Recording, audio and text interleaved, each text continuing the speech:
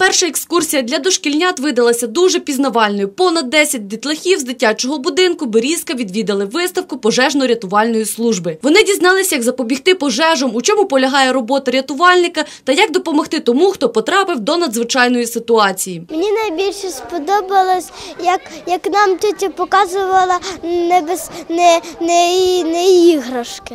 Не можна гратися вогнем, спічками, з е, сирниками, в- вогнем.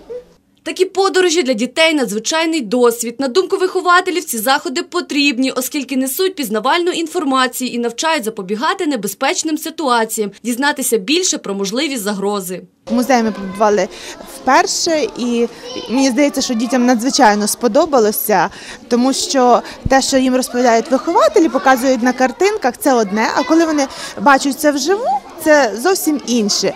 І вони потім діляться своїми враженнями, своїми знаннями, розказують себе в групі вихователям і всім. Рятувальники продемонстрували для дітей, як працює пожежний ствол. Бажаючі мали нагоду посидіти в кабіні пожежного автомобіля. Також мали нагоду дізнатися про нові технології гасіння пожеж, ознайомитися із роботою водолазів та піротехніків, адже музей налічує декілька різних напрямків, і всі вони спрямовані на захист людського життя. У нас є як і історичні розділи, оскільки ведучи е, розмову про виникнення пожеж, ми охоплюємо історію е, розвитку цього фаху.